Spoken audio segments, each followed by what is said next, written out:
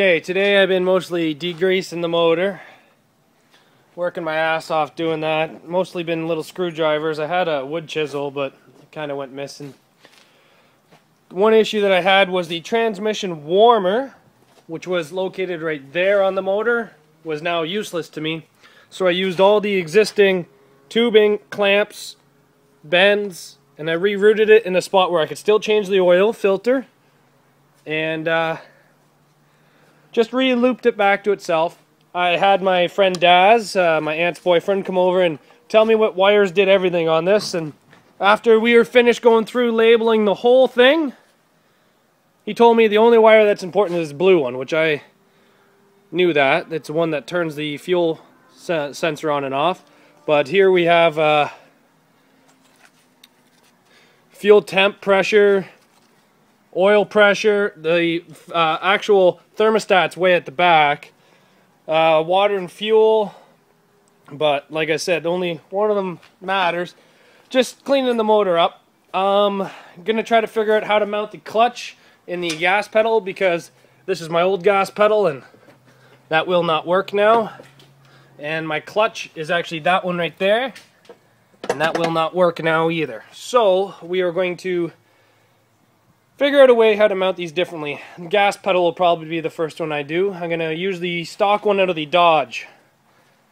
Just clean it up. I'm going to also try to do the power steering in this maybe later on today. Alright. I spent most of the night cleaning the motor and the firewall. I'm probably going to paint them just black. Um, I did adopt the clutch out of the 93 Ford to fit in my 73 Ford. I had to notch a little hole for my old choke cable.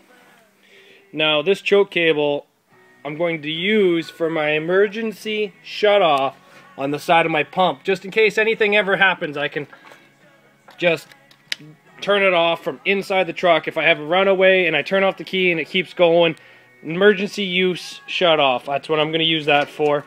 I ended up uh, adapting the gas pedal assembly. I ended up using my Ford pedal and the Dodge mechanism. I had to heat it up and bend it a bit. Um, inside there. I'm just about to start tearing apart the power steering now. Um,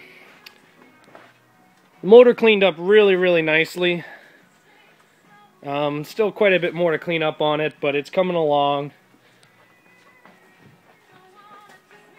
Just kind of uh, trying to figure out what uh, what's going on and what's next out here, and just basically trying to do everything I think that needs to be done before the parts get here for the adapter plate and the clutch assembly. I can maybe tomorrow start on my transfer case mount because the new transmission doesn't have the mounts like the old one did to mount the transfer case mounts onto it.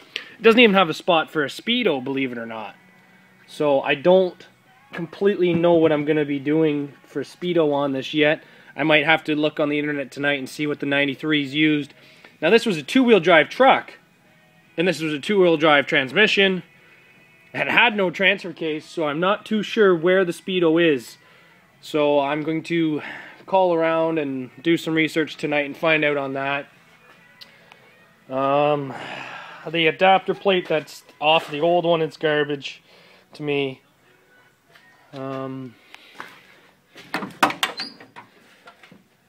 pedals, the gas pedal goes way in there now. I might, in years to come, to ex extend that. Uh, the huge hole in the floor for the new transmission to go in. Just clean it up, look at all the gunk on the ground from the motor. The motor actually has a navy blue paint job to it. It's got 108,000 kilometers on it, but I think it's been rebuilt in the past couple years. I bet you she's only got like 150, maybe 200 on it. From the way it runs and the amount of blow by, which is zero, I'd assume it's a fairly recent rebuild. The clutch lines actually go right down along the flame frame beautifully. But, alright guys, thanks for another day. Today I did a whole bunch of textured paint on the firewall and along the frame, but I'm going to have to grind a couple of it off with the new motor mounts coming. But the main thing I did today was my power steering. Um, I actually had to cut a little bit of the frame out. I turned it upside down and welded it back in. I put uh, four 9 16 holes right through the frame to catch the back of the this power steering, and I welded a plate in there, the structural, to make it safer and more stronger. I didn't really want to cut it out and leave it like that. And then I cut the two shafts, removed about a six inch piece and joined that.